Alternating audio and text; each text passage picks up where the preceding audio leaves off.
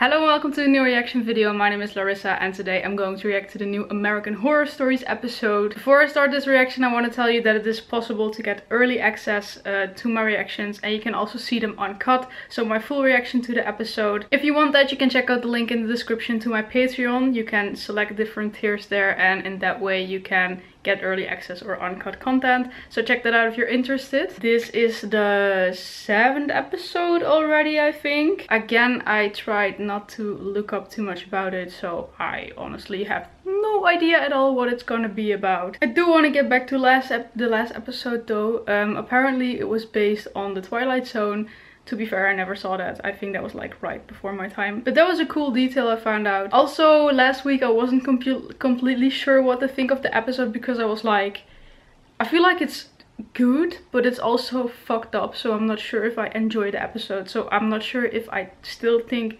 it's that good then. But on the other hand, they had me thinking for a while, like a few days after I was like, fuck, that episode was fucked. So I feel like they did a good job. So I think it was to be fair, if you compare it to the rest, one of the stronger episodes. But I still feel it had a lot of plot holes. So, I mean, like I'm saying every week, it was a decent episode, but it could have been way better. So yeah, now I'm going to react to new one. I'm very curious. Um, yeah, let's just start. Okay. It's already starting kind of creepy and dark. A year before I was born. Okay. Oh, there's a child. Oh, that is kind of fucked. Oh, imagine that being your job. Ugh. Ugh.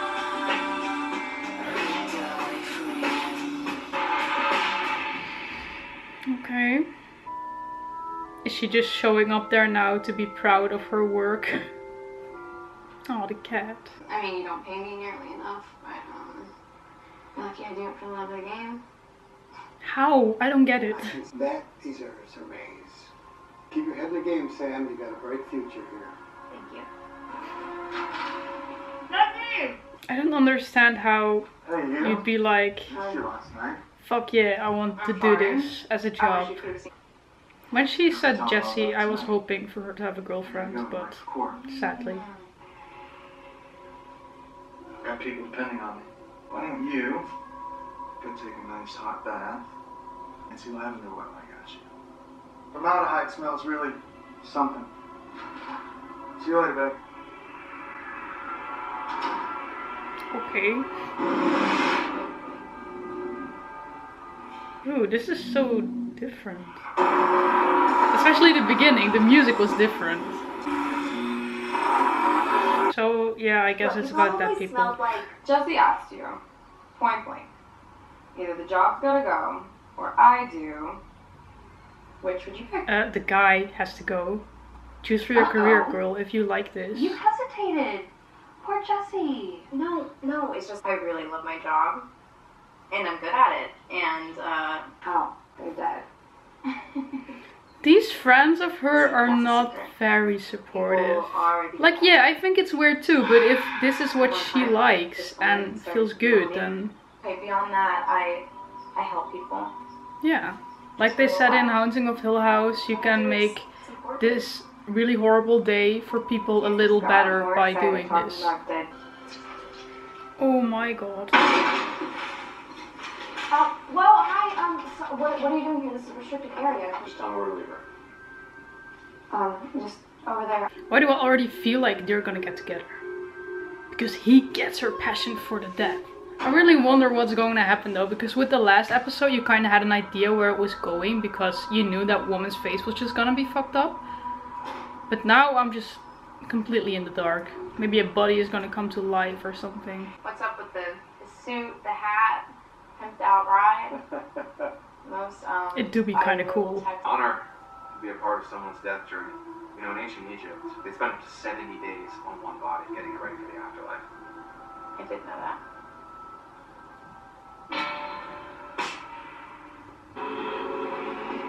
Yeah, I thought so. Like, that was literally my first thought. She's gonna go home, have sex with her boyfriend, and then she's gonna think of that guy. I don't know how I I just felt like that was going. In China, a woman buried herself alive with her dead husband so they could achieve immortality. It's a bit dramatic. That's true love. No, that's really dramatic. Can't experience it. The way they're bonding so much Yeah, over it's exotic, it's exotic. the dead. Stay on board with your whole obsession with that. I hope so. We're all dead. Hmm. Dad was telling this dumb joke. You know, it was a blessing. I saw how precious life is. Okay, but you don't need your whole family to die for that. We as the living owe it to the dead to take care of them. And to live boldly. Damn, that's kind of dark though. Trauma is, uh, it's complicated. Fucks with your brain. I don't talk about never. Okay, so her family's dead too. But right now, I am. I want to. I think the guy kind of looks like the No, uh. What was his name? um, Who plays sorry, the no, totally lead role in Vikings Valhalla. You wanted to, uh. Tell me something. I'll tell you later. I feel like her relationship with the boyfriend is so toxic. I feel like he expects a lot from her for no reason. What's going on? I mean, something scary has to happen. It still is American Horror Stories.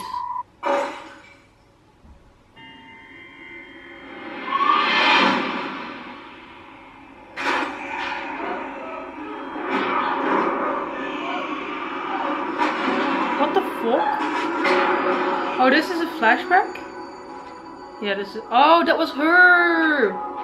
Yeah, okay, that makes sense. I totally forgot about the beginning. Oh, fucking hell. Talk to me. It's, um.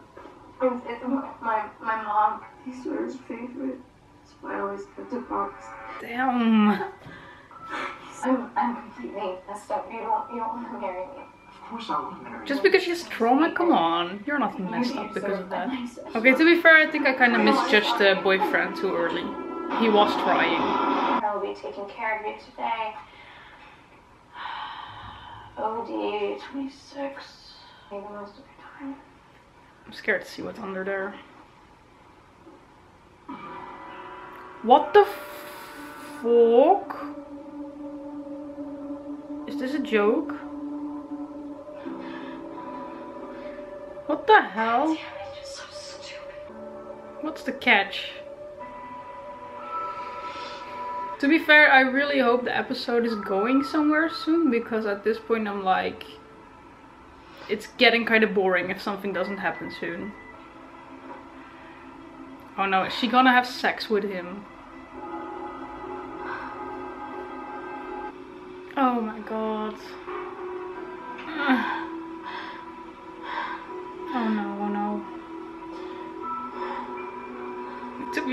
Was already scared of that when, when she pulled away the blanket and we saw it was him. But I was like, this is kind of a crazy thought, I'm not gonna express it. But I was right about that too, probably. What the fuck?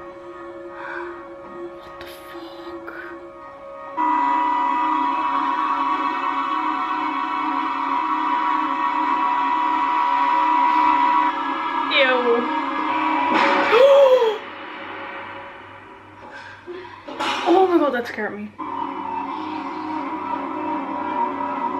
This is fucked. I mean, I know she has trauma, but this is just sick. Like, I didn't know that it was a thing if your family got murdered or you got any trauma in that way that you'd be obsessed with death.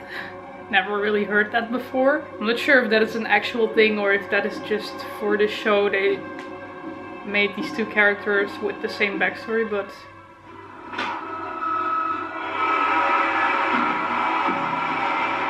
So did she all imagine it or is this some kind of trick? Maybe a test? Sam. Oh, what the fuck? Fuck you.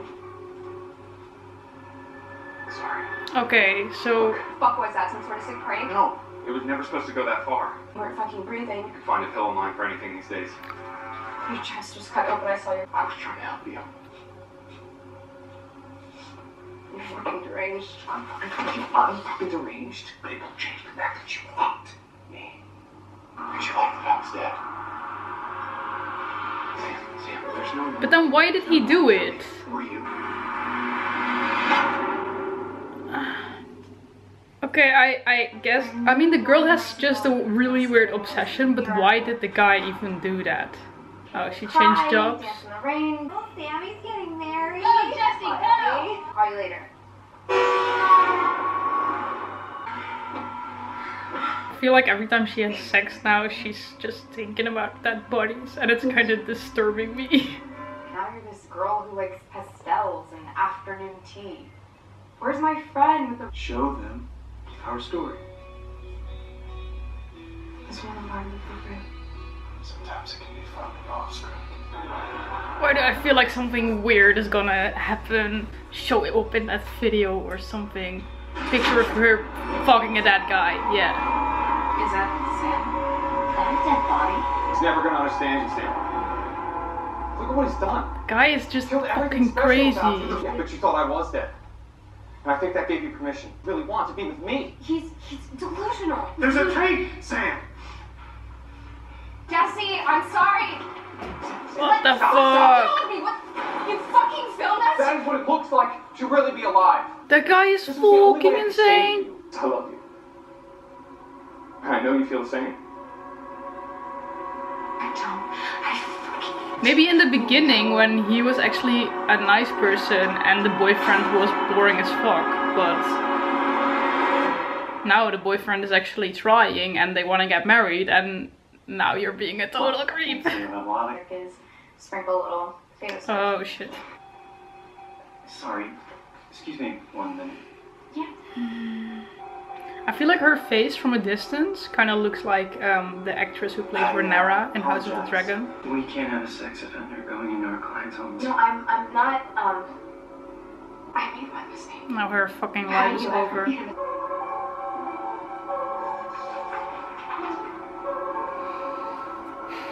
That guy really fucking ruined her life. But still, I'm also like, it's kind of your own fault. Like, why would you fuck a dead body?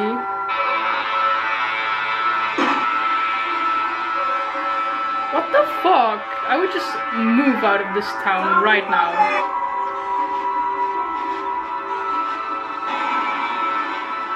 Oh shit. Maybe she's gonna kill him for real now? Ooh! Maybe. Bury him alive, like the story. Maybe that was a foreshadowing. You took everything.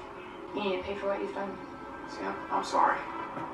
This is not who you are. Honestly, they're just know why. both What- fucked what up did I do people. to- You were trapped. I was trying to set you free. I didn't want you. I never asked for it. I was fine. No, you weren't.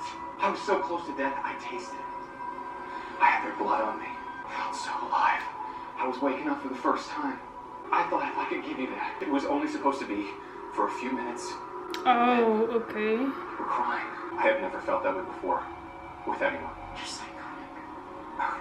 Tell me what I think or what I really want. That is so goddamn patronizing.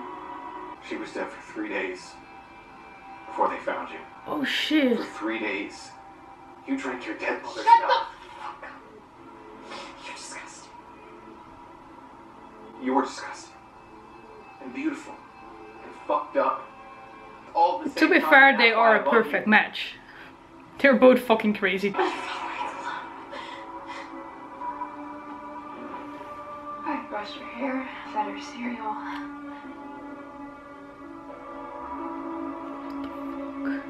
No wonder I'm so screwed up. I get you. I will never judge you. I really don't know what to think of this. Like, let me keep sleepwalking. I they're fucked up, but it's because of their trauma, and it's fucking sick what Now I see. is happening, but. I think what I really want is to be dead and alive at the same time. There's no hope for me. Sam, I would die a million times to be with you for a minute. For a thousand years. I think they're actually gonna end up together. Forever. You're weird. I'm. We belong together. I agree on that though. Are they gonna fuck in the grave? I think you're the only one that could.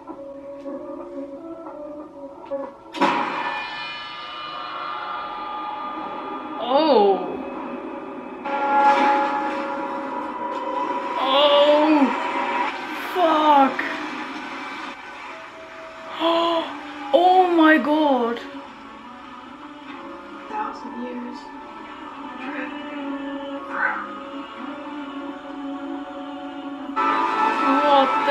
Hell? What the hell? What the hell? What the fuck? Okay, so the story was indeed foreshadowing.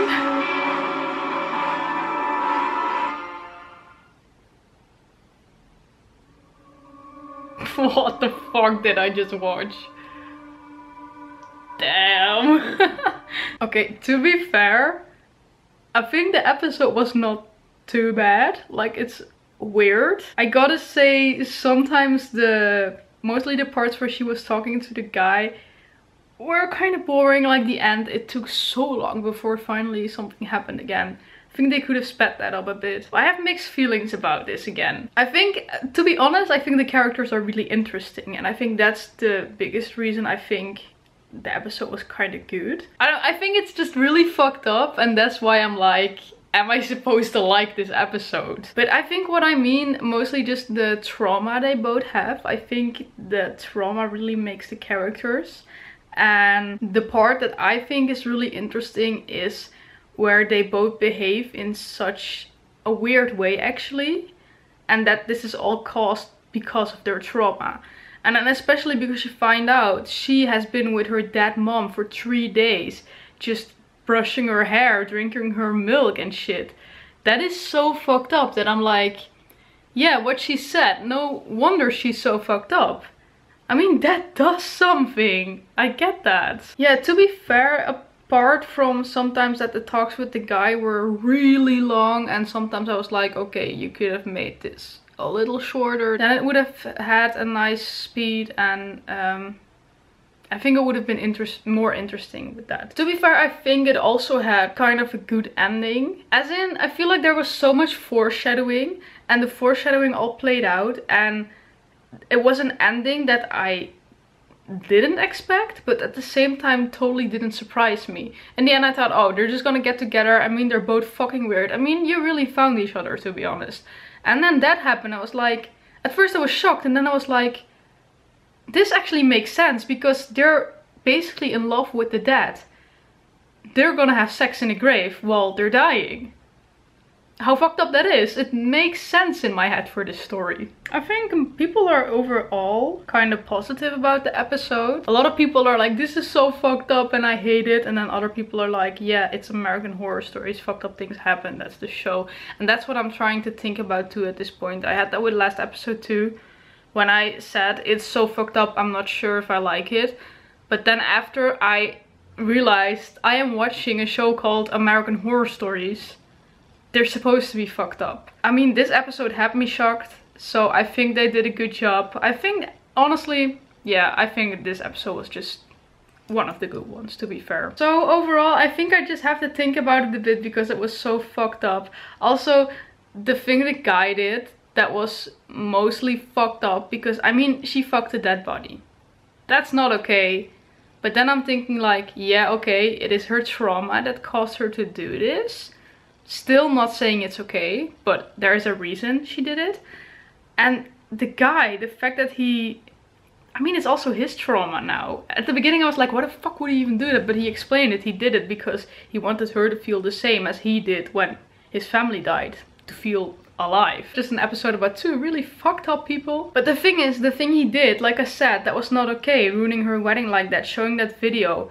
I don't agree with that too at all. I mean, she never asked him for help. He just did that because he thought that was what best for her. That's not okay. But then in the end, she was like, you were actually right. And then, I don't know. It's weird because I'm also thinking like if he hadn't done it, she would have probably lived a normal life with her boyfriend and she wouldn't have died. Damn the more I think about this episode, the, the more fucked it gets or the more weird it gets. Yeah, I, honestly, I don't think I have a lot more to say. I think I'm just gonna think about it for a bit. Like, what the fuck did I just watch? But overall, I'm quite positive about this episode. But yeah, I think that was my reaction. Uh, let me know what you thought of this episode. um, if you want to see my reaction uncut, then check out my Patreon. The link is in the description.